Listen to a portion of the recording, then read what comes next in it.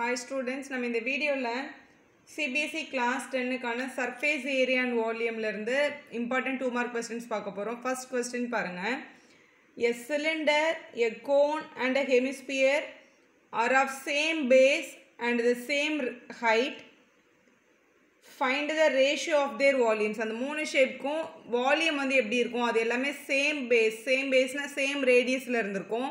Same ஹைட்டில் இருந்துச்சுன்னா அதோட வால்யூம் வந்து என்ன ரேஷியோவில் இருக்கும் அப்படின்னு கேட்குறாங்க அவங்க கொடுக்குற அந்த ஷேப்போட ஆர்டர் வந்து ரொம்ப முக்கியம். அதே ஆர்டரில் தான் நம்ம எழுதணும்.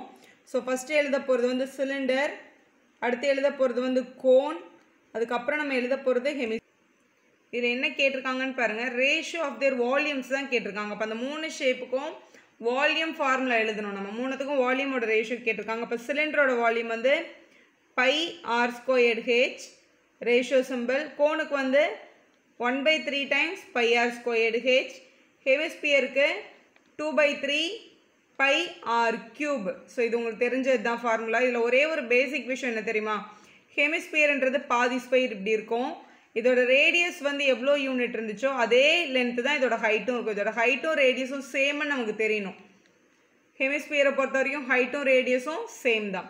இப்போது இது வந்து ரேஷியோ தான். ஒரே நம்பரில் இருந்தால் கேன்சல் பண்ணிக்கலாம். இங்கே பை பை ரேஷியோவில் இருக்க நம்பர்ஸ் எல்லாம் ஒரே டேபிள்ஸில் கேன்சல் ஆனால் கேன்சல் பண்ணிடலாம். ஸோ எல்லாத்துலேயுமே பை இருக்குது கேன்சல் ஆகிடுச்சு கொஸ்டினில் கிளியராக சொல்லியிருக்காங்க சேம் பேஸ் அப்படின்னு. அப்படின்னா மூணத்தோட ரேடியஸும் சேம் அப்போ இங்கே இருக்கிற ஆர் ஸ்கொயர்டும் இங்கே இருக்க ஆர் ஸ்கொயர் இங்கே இருக்க ஆர் ஸ்கொயர்டு கேன்சல் ஆகிடும் அப்போ இது வந்து வெறும் ஒன் ஆகிடும் இதில் மொத்தம் ஆர் கியூப் இருக்குது ஆர் ஸ்கொயர்டு கேன்சல் ஆகிருக்கு மிச்சம் ஒரு ஆர் மட்டும் இருக்குன்னு யோசிங்க.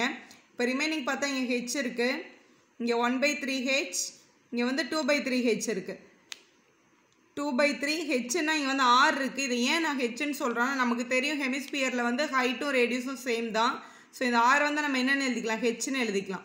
ஸோ இந்த ஹெச் இந்த ஹெச் இந்த ஹெச் என்ன ஆயிடுச்சு? கேன்சல் ஆயிடுச்சு. இப்போ one is to one by three two by three இப்படின்னு இருக்குல்ல. ஸோ ரேஷியோவில் வந்து எப்போவுமே ஒரே நம்பரால் நம்ம மல்டிப்ளும் பண்ண முடியும் டிவைடும் பண்ண முடியும். எல்சிஎம் எடுக்கிற மாதிரி யோசிச்சா கூட கரெக்டு தான்.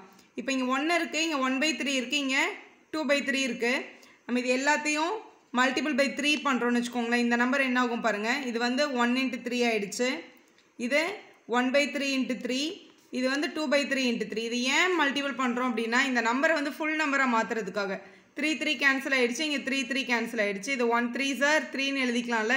அப்போ இதோட answer three is to one is to two so இதுதான் உங்களோட கரெக்டான ரேஷியோட வேல்யூ ஸோ இது த்ரீயில் இங்கே மல்டிபிள் பண்ணாமல் இப்படியே விடலாம். இல்லைனா விடலாம் கண்டிப்பாக ஆனால் இங்கே எல்சிஎம் எடுக்கிற மாதிரி யோசிங்க.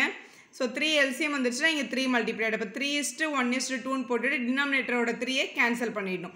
So three is to one is to two தான் கரெக்ட் ரேஷியோ நெக்ஸ்ட் இதில் இருக்க கொஸ்டின் நம்பர் ஃபோர் பாருங்கள் find the volume of a right circular cylinder of height twenty one centimetre and the base radius five centimetre கொஸ்டினில் கிளியராக கொடுத்துருக்காங்க. Height of the cylinder வந்து twenty one சென்டிமீட்டர்னும் radius வந்து five சென்டிமீட்டர்னு கொடுத்துருக்காங்க. Find the volume volume of a right circular cylinder வால்யூமோட formula pi r squared h cubic units volume வந்து எப்பவுமே கியூபில் தான் இருக்கும் கியூபிக் யூனிட்ஸ் ஏன்னா ஆர் ஸ்கொயருக்கு ரெண்டு யூனிட் இருக்குது ஹெச்சுக்கு ஒரு யூனிட் இருக்குது அதனால் மூணு அதனால் கியூபிக் யூனிட்னு போடுறோம். பைக்கு பதிலாக twenty two by seven apply பண்ணிக்கலாம். Twenty two by seven into r squared r value five five இருக்கிறதுனால ஃபைவ் இன்ட்டு ஃபைவ் ஸ்கொயர்னால ரெண்டு தடவை எழுதியிருக்கேன். ஹெச் வேல்யூ வந்து டுவெண்ட்டி ஒன்னு கொஸ்டின்லேயே இருக்குது இது ஒன் சார் இது த்ரீ சார் கேன்சல் பண்ணியாச்சு. இப்போ இந்த ரிமைனிங் இருக்க டேர்ம்ஸை மட்டும் மல்டிபிள் பண்ணி எழுதிட்டோம்னா அதுதான் நம்மளோட கரெக்ட் ஆன்சர் இப்போ டுவெண்ட்டி டூ இன்ட்டு த்ரீ நான் மல்டிபிள் பண்ணுறேன் sixty six five into five multiple பண்ணுறேன் டுவெண்ட்டி ஃபைவ் அப்போ சிக்ஸ்டி சிக்ஸும் டுவெண்ட்டி ஃபைவ் மல்டிபிள் பண்ணுறது உங்களோட கரெக்டான ஆன்சர் மல்டிபிள் பண்ணால் தௌசண்ட் சிக்ஸ் ஃபிஃப்டி வருது. கொஸ்டின் சென்டிமீட்டரில் இருந்ததுனால ஆன்சரில் சென்டிமீட்டர் க்யூப்னு எழுதிக்கோங்க. இப்போ நெக்ஸ்ட் கொஸ்டின் பார்க்கலாம். கொஸ்டின் நம்பர் ஃபைவ் ரொம்ப ஒரு இம்பார்ட்டண்டான question volume of the two spheres are இந்த ratio sixty four is to twenty seven அப்படின்னு கொடுத்துருக்காங்க.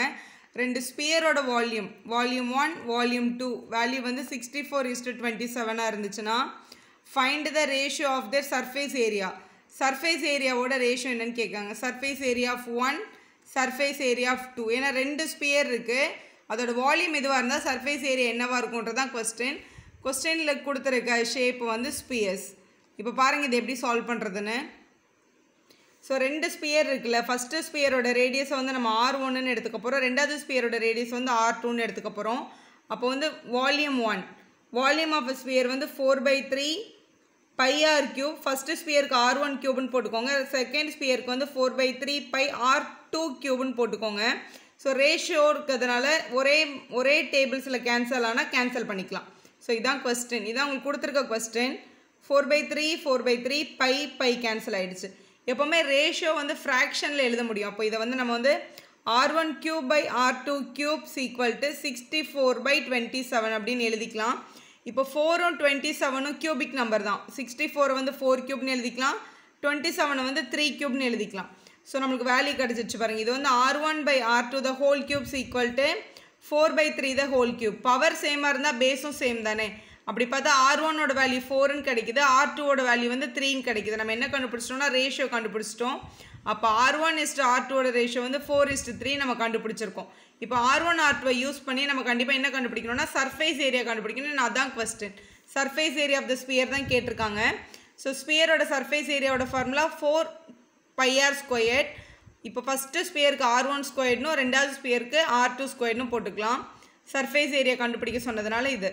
ஃபோர் பையும் ஃபோர் பையும் கேன்சல் ஆகிடும் அப்போ R one square R two square இதுதான் சர்ஃபேஸ் ஏரியா ஒன் இது வந்து சர்ஃபேஸ் ஏரியா டூ ஆர் ஒன்னோட வேல்யூ ஃபோர்னு கண்டுபிடிச்சிருக்கோம். ஆர் டூவோட வேல்யூ த்ரீன்னு கண்டுபிடிச்சிருக்கோம். ஆர் ஒன் ஸ்கொயர்னால ஃபோர் ஸ்கொயர் இது வந்து த்ரீ ஸ்கொயர் ஃபோரை ஸ்கொயர் பண்ணால் சிக்ஸ்டீன் த்ரீயை ஸ்கொயர் பண்ணால் நைன் அப்போ இதுதான் கரெக்டான சர்ஃபேஸ் ஏரியாவோட ரேஷியோ இதுதான் உங்களுக்கு கேட்டிருக்காங்க.